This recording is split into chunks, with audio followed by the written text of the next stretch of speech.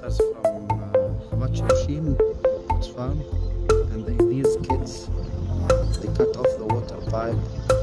We see the water now is leaking.